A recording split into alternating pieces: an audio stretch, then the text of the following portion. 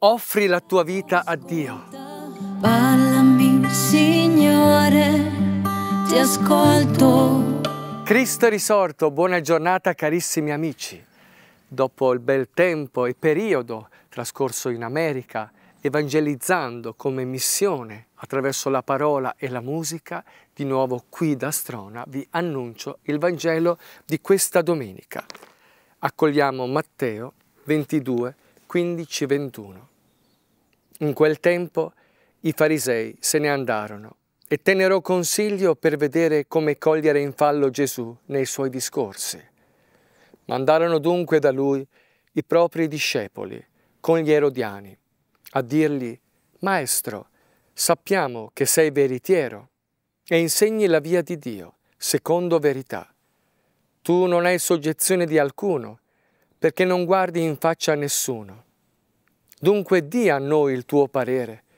È lecito o no pagare il tributo a Cesare?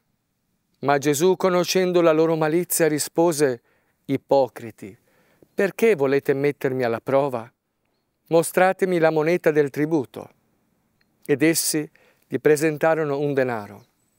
Egli domandò loro, questa immagine e l'iscrizione di chi sono?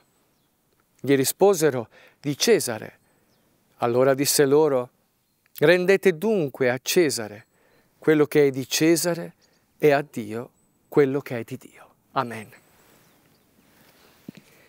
Carissimi, nelle ultime domeniche abbiamo accolto e ascoltato tre parabole potremmo definirle di rottura con i capi dei sacerdoti e gli anziani.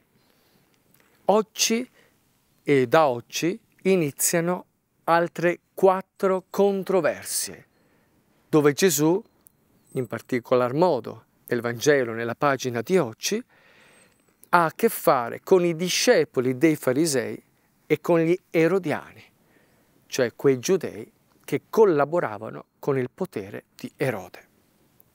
Gli fanno questa domanda, Maestro, crediamo in te, quello che dici è legge, ma spiegaci un po' cosa dobbiamo fare con il tributo da dare a Cesare. Dobbiamo darglielo, pagarlo oppure no? È lecito oppure no? Dicevano questo per metterlo alla prova, chiaramente, perché qualsiasi risposta Gesù avesse dato non sarebbe andata bene. Sia nel pagare il tributo a Cesare, ai romani, quindi ai dominatori, sia nel non darlo, perché allora i dominatori si sarebbero arrabbiati per qualcosa che non andava contro la loro legge. Ecco che Gesù risponde dicendo portatemi un denaro e vedete qual è l'iscrizione, qual è l'immagine. È di Cesare e quindi gli appartiene. Restituiteli quello che le appartiene. Rendete a Cesare quello che è di Cesare e a Dio quello che è di Dio. E vediamo che Gesù è entrato in profondità da questa domanda, da questa provocazione. Gesù risponde dicendo sappiate che dovete rispettare certamente l'autorità politica, sociale, ma al tempo stesso dovete distinguere la vostra vita spirituale, il vostro cammino di fede. Questo sta dicendo Gesù. Addirittura in questa risposta, che non è diretta, sì, date il tributo a Cesare, no, non lo date è una risposta che eleva il discorso.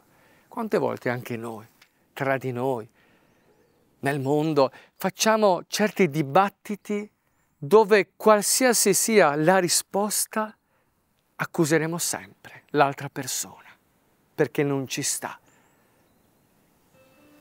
perché non ci piace, perché non siamo in comunione con quella persona. Così hanno fatto con Gesù. Gesù si eleva ma la sua risposta è così profonda che è un richiamo al primato della fedeltà a Dio.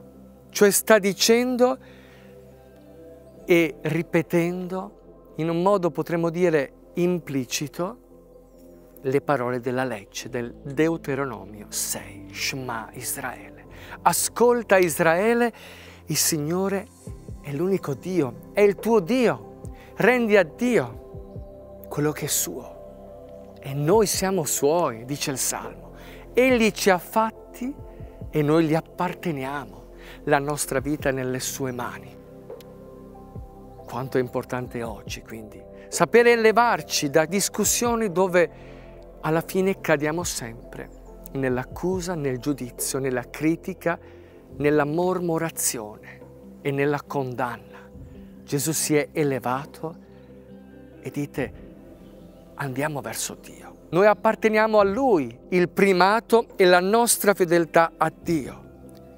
E Dio poi vede e conosce il nostro cuore. Grazie Signore Gesù per questa parola. Noi oggi vogliamo offrirti ciò che noi siamo la nostra anima, il cuore, la vita, la famiglia, la casa, il lavoro. Vogliamo offrirlo a te perché sappiamo che tu ci benedici e ci doni cento volte tanto quando noi presentiamo e sottomettiamo i nostri piani, i nostri progetti, le nostre difficoltà.